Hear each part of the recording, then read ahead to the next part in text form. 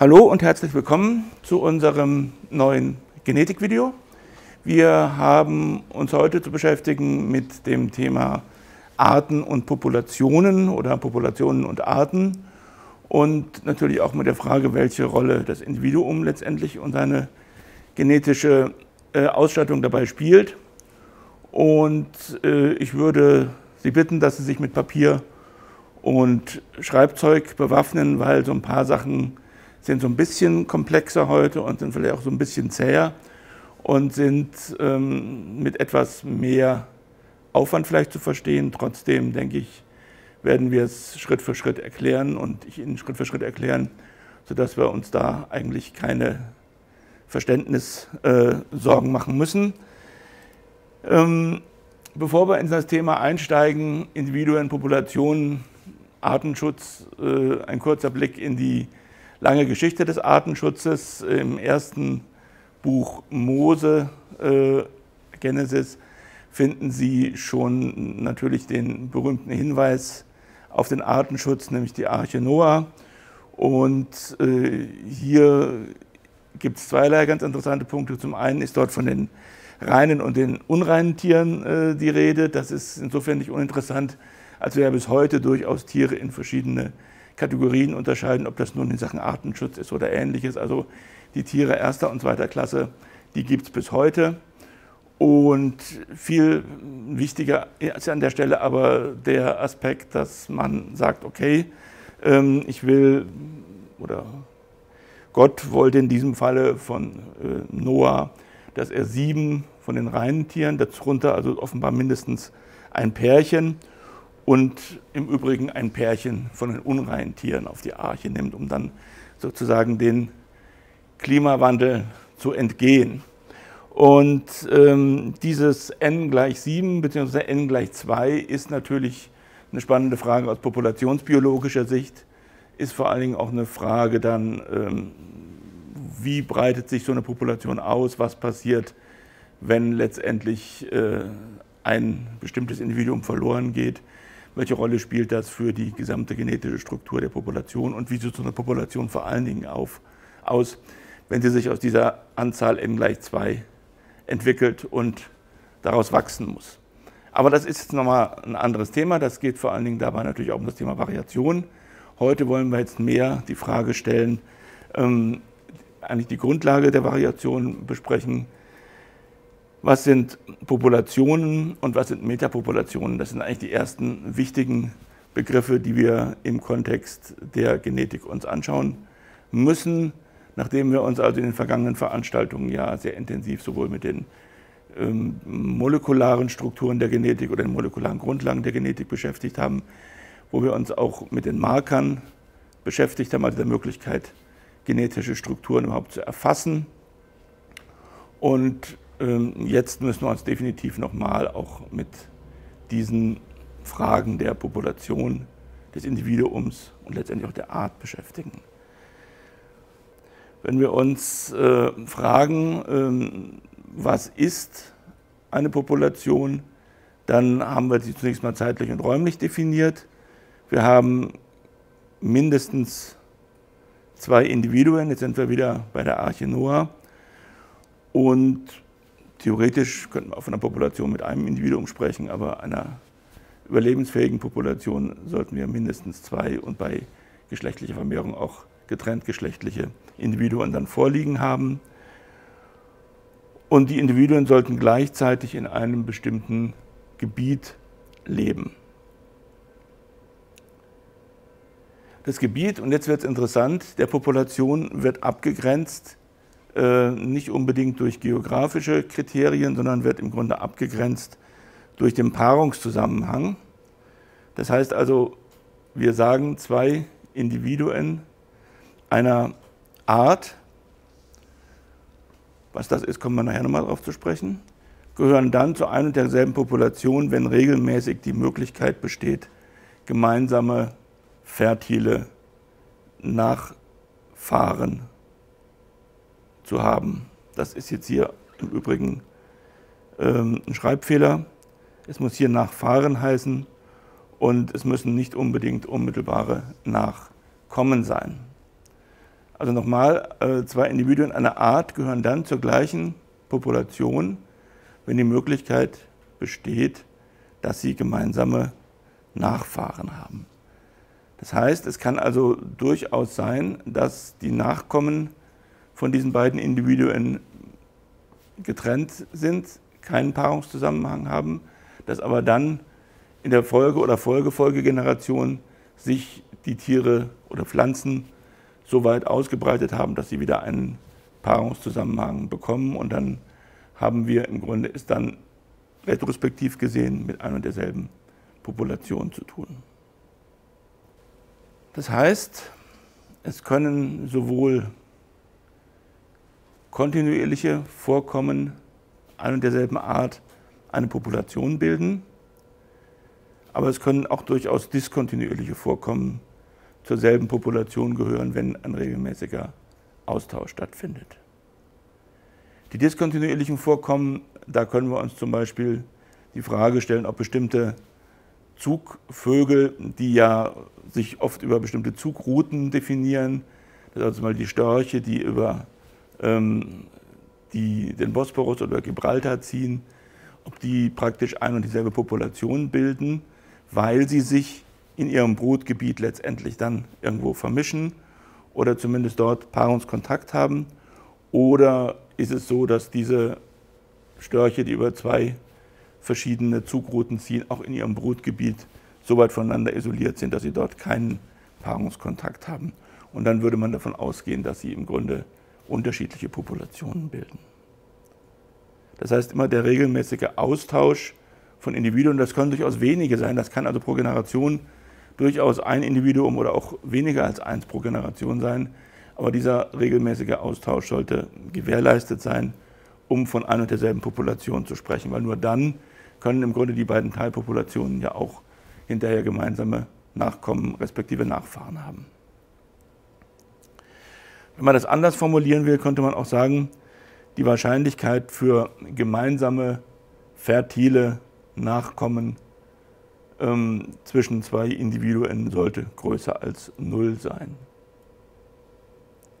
Und zwar signifikant größer als null sein. Ähm, wichtig ist, das hatte ich eingangs schon kurz angedeutet, die Population ist letztendlich die evolutiv relevante Ebene. Das heißt, auf der Ebene der Population passt sich letztendlich äh, eine Spezies an die Umwelt an. Das heißt, nicht das Individuum passt sich genetisch an, das Individuum kann sich eigentlich nur physiologisch ähm, an seine Umwelt anpassen durch die Plastizität, die es letztendlich aufweist, während äh, eine Vielzahl von Individuen, die dann eine Population bilden, die können sich dann auch genetisch an die Umweltbedingungen anpassen. Die sogenannte Selektion wirkt dann dort beispielsweise. Und damit ist die Population im Wesentlichen auch die Ebene der Evolution und damit auch natürlich für den ganzen Artenschutz die relevante Ebene. Von daher ist der Begriff Artenschutz eigentlich ein bisschen äh, missverständlich, denn was wir schützen müssen oder wo wir im Grunde ein Auge drauf haben müssen, was wir uns im Falle von menschlichen äh, Einflussnahmen immer genauer anschauen müssen, ist die Population, nicht unbedingt die Art als Ganzes. Und diese Anpassung an die Umweltbedingungen erfolgt praktisch über die Generationen, indem sich von Generation zu Generation ähm, durch Selektion aufgrund der Umweltbedingungen zum Beispiel, aber auch durch Zufallsprozesse, durchaus genetische Drift spielt hier eine Rolle, ähm, die genetischen Strukturen von Generation zu Generation ändern. Ja, Populationen können weiter unterteilt werden. Sie können nach geografischen, sie können nach morphologischen, sie können nach ökologischen oder sie können nach welchen Kriterien auch immer in sogenannte Teilpopulationen unterteilt werden. Wichtig ist, dass die Subpopulation, also die Teilpopulation, zunächst mal keine wirklich biologisch zwingende Relevanz hat. Das heißt also mit anderen Worten, biologisch sehr scharf definiert ist, wie wir gerade eben gehört haben, die Population. Da gibt es einfach klare genetische bzw. Ähm, populationsbiologische Kriterien, welche die Population definieren, während die Subpopulation, also eine Unterpopulation oder Teilpopulation auch genannt, äh, nach durchaus auch anthropozentrischen Kriterien eingeteilt werden kann.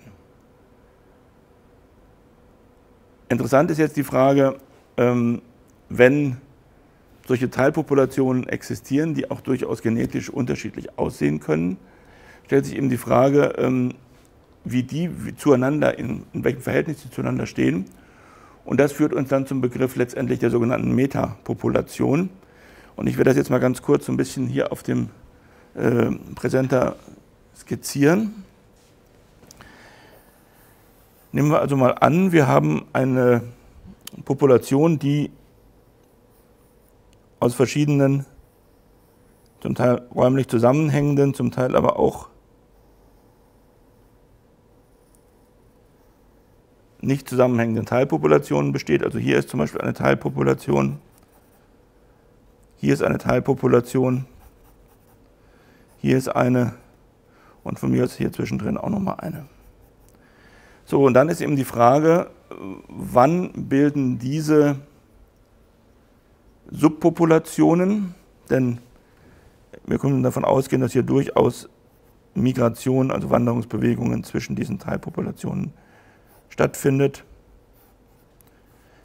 Wie auch immer. Ähm, dann ist eben die Frage, wann bilden diese Teilpopulationen eine gemeinsame sogenannte Metapopulation. Eine Metapopulation bedeutet, dass äh, diese Teilpopulationen existieren können oder auch mal verschwinden können, ohne dass die Existenz der Gesamtpopulation beeinträchtigt ist. Das ist eigentlich der Begriff der Metapopulation.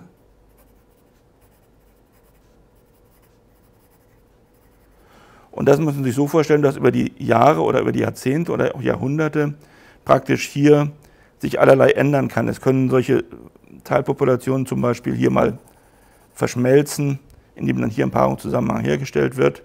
Es können zum Beispiel auch bestimmte Teilpopulationen komplett verschwinden, also aussterben lokal und die werden dann im Grunde später aus den anderen Teilpopulationen wie von hier oder von hier oder von hier wieder besiedelt. Das ist letztendlich nichts anderes als das Konzept einer sogenannten Metapopulation im Sinne von Lewins. Und Lewins hat im Grunde das Ganze an Insekten äh, experimentell dargestellt. Ähm, wichtig ist diese Metapopulation natürlich gerade im Bereich des Naturschutzes, des Artenschutzes, weil wir damit ähm, ja sehr schön ähm, auch modellhaft sehen können, dass im Grunde nicht immer und überall eine Art zur gleichen Zeit in gleicher Dichte vertreten sein muss, um letztendlich äh, langfristig überlebensfähig in einem Lebensraum zu sein. Und auch die Frage des günstigen Erhaltungszustandes, zum Beispiel im Sinne der FFH-Richtlinie, ist sehr stark von diesem Metapopulationsgedanken abhängig. Das heißt, also hier müssen wir uns noch in Zukunft auch im Naturschutz dazulernen und diesen Metapopulationsaspekt eigentlich mehr ins, in die praktische aber des Naturschutzes mit einführen.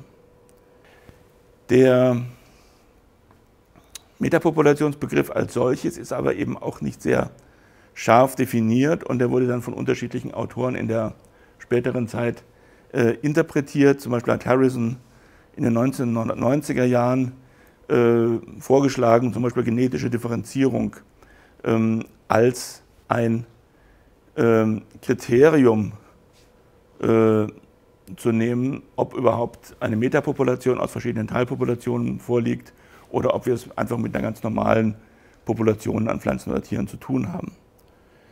Das heißt also, nach Harrison würde man sagen, erst wenn solche ähm, Teile dieser Gesamtpopulation, ich versuche das nochmal hier zu skizzieren,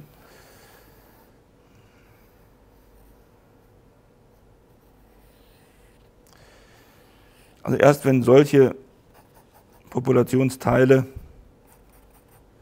jeweils genetisch unterschiedlich sind, genetisch voneinander differenziert sind, was wir mit den entsprechenden Differenzierungsmaßen ja auch feststellen können, erst dann sprechen wir definitiv von einer Metapopulation, während wir, wenn die im Grunde alle genetisch mehr oder weniger ähnlich in ihren Strukturen aussehen, von einer einfachen Population nur sprechen würden. Das Problem bei, den, bei der Frage nach genetischer Differenzierung liegt so ein bisschen darin, dass in den 1990er Jahren eigentlich die genetischen Marker noch, ich will nicht sagen relativ grob waren, aber doch nicht diese feine Unterteilung ähm, ermöglicht haben, zumindest in der Vielzahl der Marker, gerade die damals noch äh, aktuellen Isoenzymmarker, ähm, um letztendlich äh, alles von allem voneinander unterscheiden zu können, was heute ja durchaus der Fall ist. Heute können wir ja auch routinemäßig bis auf die Ebene des Individuums herunter, bis auf die Ebene des Sozialverbandes, Wolfsrudel äh, oder Karlwildverband beim Rothirsch oder ähnliches, genetisch oder genauer gesagt molekular differenzieren. Ähm, und das macht die Sache natürlich, diese Definition von Harrison, auch ein bisschen schwierig, weil wir je nach verwendetem Marker im Grunde definitiv ähm, jede dieser äh, genannten Teilpopulationen eigentlich fast immer äh, mit bestimmten Markern differenzieren können. Wir müssen nur die Markeranzahl hinreichend hochnehmen und die Marker entsprechend fein äh, ähm, auflösend wählen. Und das äh, ist letztendlich dann auch so ein bisschen das Problem, wenn wir mit molekularen Methoden diese Metapopulation wirklich ähm, ja, äh, interpretieren bzw. definieren wollen. Ja, jetzt kommen wir zur Frage der Population und der Art. Ähm, zwei beliebige Populationen, so sagt man, gehören zu einer und derselben biologischen Art, wenn Umweltbedingungen existieren, unter denen diese sich wie eine einzige Population verhalten. Was eine einzige Population ist, haben wir gerade gehört. Das heißt also, wenn hier zwei beliebig gegriffene Individuen ähm, gemeinsame Nachfahren haben können. Das heißt, wir kommen automatisch damit zum sogenannten Artkonzept nach Meyer, dem sogenannten biologischen Artkonzept. Ähm, definiert wird das als Arten sind Gruppen von sich tatsächlich oder potenziell untereinander fortpflanzenden natürlichen Populationen, die, anderen, die von anderen solchen Gruppen reproduktiv isoliert sind. Das beste Beispiel für eine biologische Art ist der Wolf Canis lupus. Wir haben hier ähm, eine Population auf dem eurasischen Kontinent, mindestens eine. Ähm, da werden wir an anderer Stelle uns nochmal mit näher beschäftigen. Und wir haben mindestens eine Population auf dem nordamerikanischen Kontinent.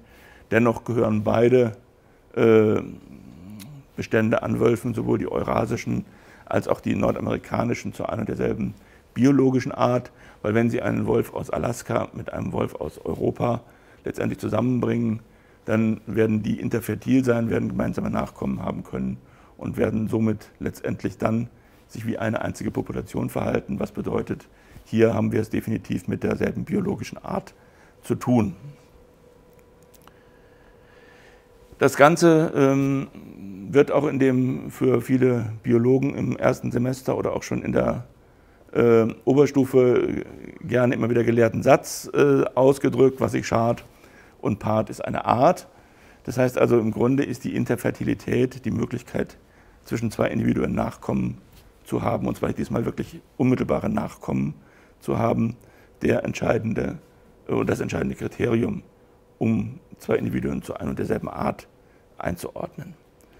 Ähm, damit sind wir, was ich Schad und Part ist eine Art, mit diesem Begriff genau auch wieder bei der Meyerschen Artdefinition, ähm, die dann, wie gesagt, von späteren Autoren auch von einem, zu einem biologischen Artkonzept eigentlich oder als biologisches Artkonzept bezeichnet worden ist. Das biologische Artkonzept, manche nennen es auch genetisches Artkonzept, ist ähm, im Grunde sehr operational. Das ist der riesige Vorteil von diesem Konzept, weil sie praktisch bei allen sich zumindest sexuell fortpflanzenden, rezenten äh, Spezies oder Individuen diese Frage eigentlich nach diesem Meyerschen Ansatz beantworten können. Wo es eben, wie gesagt, nicht geht, sind die sich nicht äh, sexuell fortpflanzenden ähm, Spezies, Lebewesen und es sind auch die ausgestorbenen äh, Lebewesen, wo sie das im Grunde nicht mehr überprüfen können, letztendlich diese Interfertilität. Und da kann man natürlich dann auch andere Artkonzepte nutzen, die zum Teil auch im äh, Artenschutz in der Vergangenheit sehr äh, beliebt waren und zum Teil auch heute noch beliebt sind. Das morphologische Artkonzept zum Beispiel, da betrachtet man im Wesentlichen äh, die ja, Morphologie, zum Teil auch die Anatomie ähm, von Lebewesen und versucht die sozusagen in einen logischen Zusammenhang zu stellen und kann danach dann im Grunde auch bestimmte Individuengruppen zu Arten zusammenfassen. Das betrifft im Wesentlichen ähm, oder betraf in der Vergangenheit im Wesentlichen tatsächlich auch die ähm, nicht mehr rezenten Lebewesen, die also als Fossilien vorhanden waren. Im Naturschutz wird es immer noch gerne genutzt, wenn man beispielsweise Subspezies, Unterarten, die bestimmte morphologische Besonderheiten haben, äh, sich fragt, ob das vielleicht eigene Arten sind. Das ist ähm, immer so ein bisschen problematisch, weil natürlich der Naturschutz durchaus auch in gewisser Weise davon profitiert, äh, wenn es möglichst viele Arten gibt, weil wenn aus einer Art mehrere äh, Arten plötzlich werden, dann ist der Gefährdungsstatus dieser neuen äh, oder neu ausgewiesenen Art meistens relativ hoch und das führt natürlich dann auch wieder zu ähm, Naturschutzproblemen, ähm, die es dann zu lösen gilt. Also so gesehen äh, ist das in der Vergangenheit immer so ein bisschen auch ähm, fragwürdig, ob man das wirklich heute noch tun soll nach rein morphologischen Kriterien oder ob man nicht heute besser ähm, dann tatsächlich auch das phylogenetische Artkonzept in Betracht zieht. Hier geht es vor allen Dingen um die Abstammungsbeziehungen von Individuen. Ähm, denken Sie äh, beispielsweise auch an die Frage ähm, von äh, nicht mehr rezent vorhandenen Arten. Da kann man zumindest heute ähm, mit einer molekularen Diagnostik ähm, diese Abstammungsbeziehungen herleiten. Ähm, gleichzeitig ist das aber, diese Molekulardiagnostik, auch ein Problem, weil wir damit keine biologischen Arten letztendlich definieren können. Wir können damit eigentlich nur äh, phylogenetische äh, oder phylogenetisch definierte Arten ähm, erkennen, indem wir einfach über die molekularen Marker nach Ähnlichkeit ähm, gruppieren. Ähm, wir können aber aufgrund der molekularen Marker, gerade der heutzutage sehr äh, fein auflösenden molekularen Markern, wir können daraufhin nicht sagen, ob zwei Individuen, die eine bestimmte, einen bestimmten molekularen Phänotyp aufweisen, ob die nun interfertil sind oder nicht interfertil sind. Das heißt also, das biologische Artkonzept können Sie mit molekularen Markern definitiv nicht erkennen oder nicht untermauern und nicht danach im Grunde strukturieren. Sie können aber äh, diese Marker sehr gut nutzen für das phylogenetische Artkonzept, welches im Grunde heute dem morphologischen auch von daher gesehen äh, in der Praxis überlegen ist. Dennoch, wenn Sie ein operationales Konzept suchen, was wirklich auch eine klare Trennung dann zwischen Arten irgendwo definiert, nämlich die fehlende Interfertilität, äh, dann sind wir heutzutage definitiv auf das biologische Artkonzept angewiesen. Und das wäre vermutlich klug, das auch in Zukunft im Artenschutz zunehmend ähm, zu etablieren. Kommen wir noch zu so ein paar Praxisbeispielen. Im forstlichen Bereich, im waldbaulichen Bereich ist ein spannendes Beispiel ähm, die Frage der Eichen in Mitteleuropa, die Frage äh, Traubeneiche und Stieleiche, Quercus petrea und Quercus robur. Hier ist es letztendlich so, dass wir in der, im Waldbau natürlich in vielen Beständen ähm, Bäume finden, die Merkmale sowohl von Quercus petrea als auch von Quercus robur haben. Wir wissen auch, dass es Hybridbildung zwischen diesen beiden Formen, ich nenne es mal ganz zurückhaltend, Formen der Eiche gibt.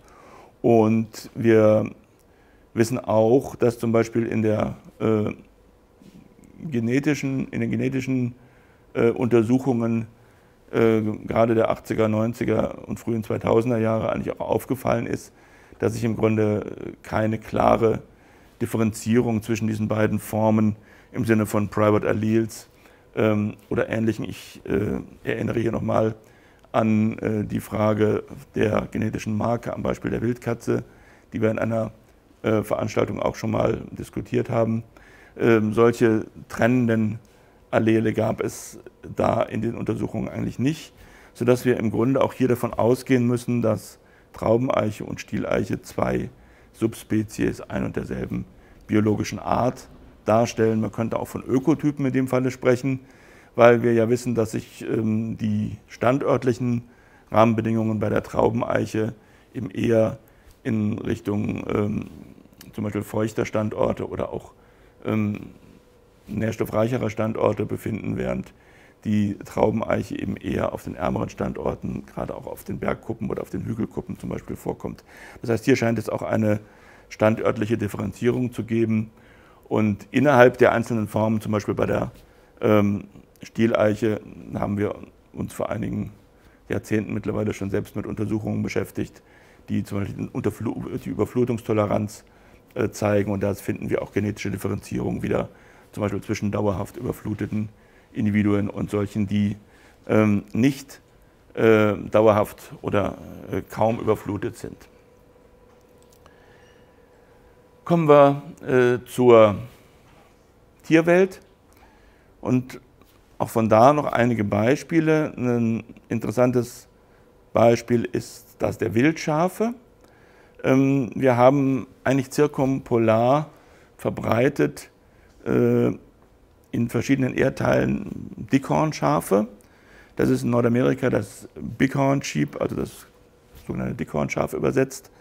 Es ist äh, in Europa oder auch Richtung östlicher Mittelmeerraum das Mufflon. Es ist in Zentralasien dann zum Beispiel das Argali. Und hier können wir im Grunde auch wieder fragen, haben wir es beim Mufflon äh, mit Ovis äh, oder Ovis orientalis zu tun oder sollten wir besser von der Großart Ovis ammon sprechen, ähm, unter denen dann praktisch die weltweit verbreiteten Dickhornschafe zusammengefasst werden könnte. Aus genetischer Sicht und auch aus Sicht eines biologischen Artkonzeptes ist das eigentlich klar, dass es sich eigentlich nur um verschiedene Unterarten handelt, da ja Kreuzungen mit fertilen Nachkommen auch zwischen diesen äh, jeweiligen äh, Kollektiven, also zwischen Dickhornschaf und Mufflon zum Beispiel oder zwischen Agali und Mufflon, äh, möglich wären, wenn wir die räumliche Distanz überwinden und diese Tiere zusammenbringen würden.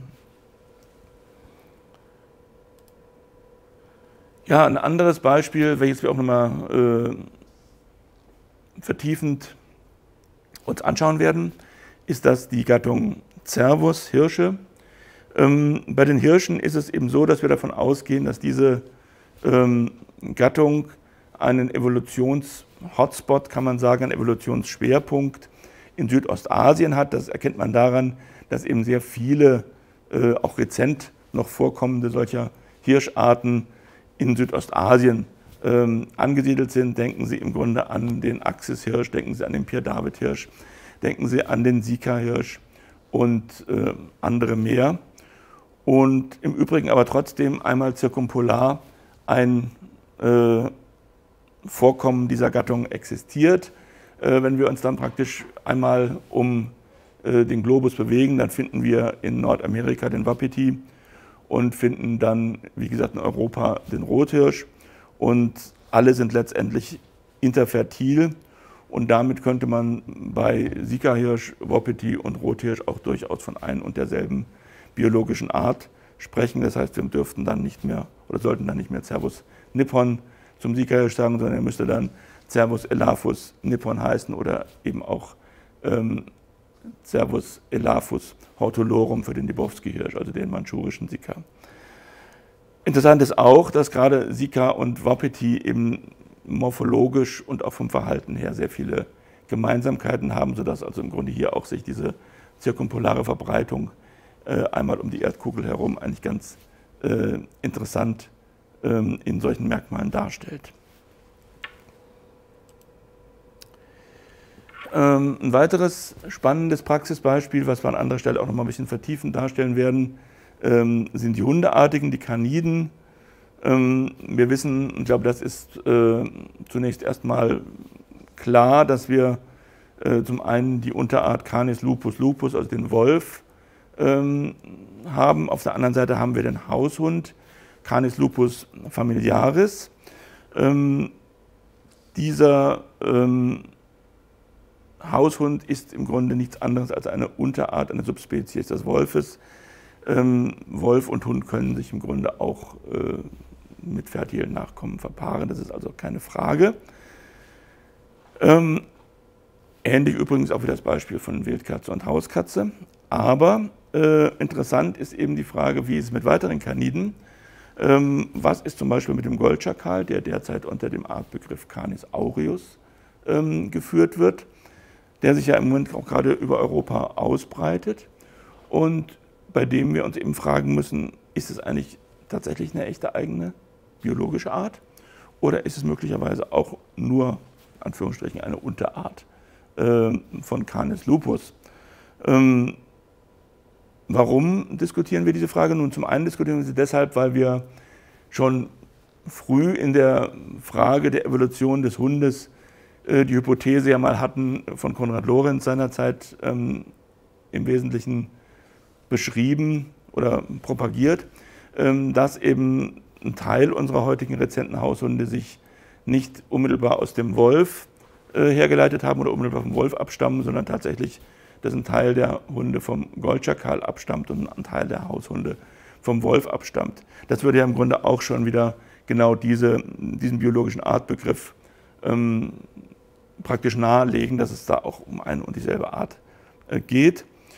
Ähm, wir wissen auch ähm, aus molekularbiologischen Untersuchungen, ähm, dass äh, möglicherweise Hybridbildungen zwischen äh, Hund und Goldschakal stattgefunden haben.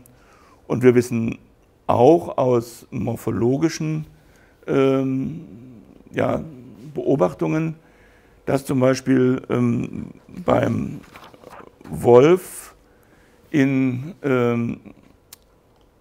im Apennin bzw. Abruzzen, also in der apenninisch-alpinen äh, Wolfspopulation respektive Teilpopulation ähm, bestimmte Merkmale vorkommen, die auch der Goldschakal ansonsten hat. Das ist zum Beispiel ähm, die verwachsenen äh, Ballen der mittleren Zehen. Ich versuche das mal ganz kurz hier zu skizzieren. Wenn wir also jetzt so ein ähm,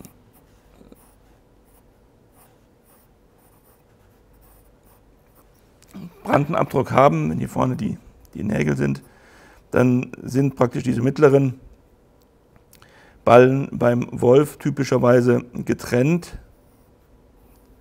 während sie beim Goldschakal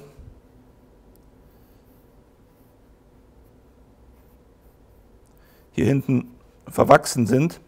Und dieses Verwachsene, was Sie jetzt sehen, das ist praktisch auch äh, bei den ähm, Wölfen, zumindest beim Teil der Wölfe aus der apenninischen ähm, Population, Schrägstrich Teilpopulation zu beobachten. Also auch hier, ähm, das ist jetzt kein äh, Beleg für irgendetwas, aber zumindest ein Indiz, doch immer nachzugucken, ob nicht auch hier eine gewisse Interfertilität besteht. Ja, ein weiteres äh, interessantes Beispiel, gerade jetzt vor dem Hintergrund äh, Klimawandel, ist, äh, sind die Bären. Ähm, die Gattung Ursus. Ähm, bislang hat man eigentlich den Braunbären und den Eisbären als zwei verschiedene Arten letztendlich ähm, geführt. Also Ursus arctos als der Braunbär und Ursus maritimus der Eisbär. Auch hier äh, wissen wir, dass es sowohl aus, wir kennen das aus zoologischen Gärten, wir haben aber auch mittlerweile gibt es Beobachtungen aus freier Wildbahn, ähm, dass äh, die beiden bisher als getrennt äh, angenommenen Spezies eben möglicherweise doch eine dieselbe biologische Art sind. Es gibt nämlich Hybriden zwischen Eisbär und Braunbär, gerade im Bereich zum Beispiel Sibiriens, wo auch die Braunbär äh, vorkommen, eben sehr weit in den Norden reichen und die beiden äh, nennen wir sie mal Ökotypen, sich auch begegnen. Ähm, da passiert gerade unter den Bedingungen des Klimawandels möglicherweise auch ähm, letztendlich äh, forciert, dass sich mehr und mehr Eisbären auch Richtung Festland zurückziehen, gerade unter den Schwierigkeiten eben auch auf dem Eis vernünftig Beute zu jagen und dass sich hier dann eben auch Hybriden finden, die dann äh, oftmals auch salopp als Cappuccino-Bären bezeichnet werden. Das einfach von ihrem äh, hellbraunen Fellfärbung hergeleitet, der Begriff. Ähm, das heißt also, die F1-Generation scheint hier also entsprechend äh, intermediär auszusehen. Und das ist natürlich eine spannende Tatsache vor der Frage, wird der Eisbär durch den Klimawandel aussterben? Nein, er wird vermutlich durch den Klimawandel nicht aussterben, sondern es wird sich im Grunde wieder eine äh, Zusammenentwicklung äh, zwischen Eisbär und Braunbär ergeben. Ähm, das ist insofern möglicherweise sehr logisch und auch sehr naheliegend, weil die Evolutionsgeschichte der Bären sowieso noch relativ jung ist, also es ist noch keine so evolutionsbiologisch alte Auftrennung zwischen Eisbär und Braunbär. Und möglicherweise wird diese Auftrennung jetzt durch den Klimawandel wieder zu einem Ende kommen und sie werden sich wieder zusammen entwickeln zu der Stammform, aus der praktisch beide mal hervorgegangen sind. Natürlich nicht zu derselben Form der Evolution, wiederholt sich nichts, aber letztendlich zu ökologisch ähnlichen Formen. Was sagt das Naturschutzgesetz zu all diesen Dingen, was sich ja also täglich mit diesen Fragen eigentlich beschäftigen muss? Ähm, das ist ein bisschen erschütternd äh, und auch fachlich ähm, ja, nicht, äh, nicht sehr herausragend, was wir hier lesen müssen. Äh, Im Bundesnaturschutzgesetz ist unter den Definitionen eine Art ähm, genannt, eine Art sei also jede Art, Teilpopulation einer Art oder Unterart.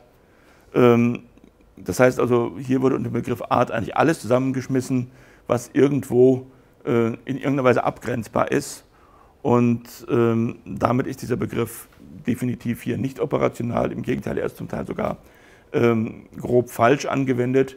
Und das äh, vor dem Hintergrund ist eben daraus doch für äh, eine Gesellschaft massive rechtliche Konsequenzen erwachsen können, denke ich, ist hier nochmal massiv nachzubessern. Und hier müssen, denke ich, in Zukunft noch die Hausaufgaben gemacht werden, um hier nochmal sauber eine, möglichst eine biologische Artdefinition auch im Naturschutzgesetz so aufzunehmen. Ähm, es ist ja schon ein paar Mal, die Begrifflichkeiten sind im Naturschutzgesetz nachgebessert worden. Das ging auch äh, bei heimischen Arten oder auch beim Thema von äh, invasiven Arten hat man ja schon äh, nachgebessert. Nicht immer unbedingt zum Guten hin. Oftmals hat man das durch die neuen Definitionen noch mehr Verwirrung gestiftet. Aber zumindest diese Artdefinition im Naturschutzgesetz sollte dringend den naturwissenschaftlich gebräuchlichen, äh, der, der naturwissenschaftlich gebräuchlichen Terminologie angepasst werden.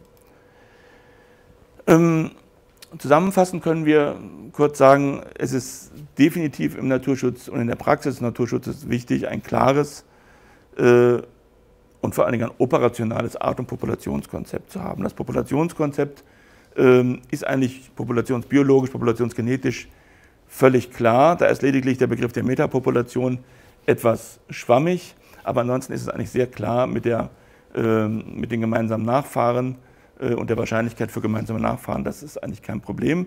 Beim Artkonzept werden wir uns in Zukunft auf möglichst eines der drei gängigen, sag ich mal, einigen müssen. Die Empfehlung wäre hier auf das biologische Artkonzept, weil das das einzig wirklich operationale ist. Und ähm, diese Klarheit sollte eigentlich dazu führen, dass wir äh, die Schnittstelle zwischen Biologie auf der einen Seite, also Wissenschaftlichkeit auf der einen Seite und Naturschutzrecht auf der anderen Seite ähm, deutlich ähm, transparenter gestalten und auch deutlich handhabbarer gestalten. Ähm, zurzeit haben wir gerade aufgrund dieser unterschiedlichen Begrifflichkeiten auch große Probleme, zum Beispiel im Planungsrecht, zum Beispiel in der Frage der Rückkehr der großen Prädatoren und ähnliches. Ähm, ich hatte es vorhin schon mal kurz angedeutet, auch die Frage ähm, der Inflationierung von Arten unter, dem, äh, unter der äh, Prämisse, dass natürlich, wenn wir mehr Arten uns definieren, diese Arten natürlich auch insgesamt jede für sich gefährdeter sind und damit dem Naturschutz eine größere Bedeutung vorkommt, halte ich für problematisch, wenn das wirklich so sein sollte. Ja, das war's äh, zum Thema äh, Individuum Art Population oder Individuum Population Art. Äh, nachzulesen am Beispiel ähm, des Großprädators Wolf wäre das hier im Handbuch Wolf und ansonsten das ganze Konzept auch nochmal im äh, Skriptum Wildtiermanagement ähm, dargestellt. Von daher vielen Dank und bis zum nächsten Mal.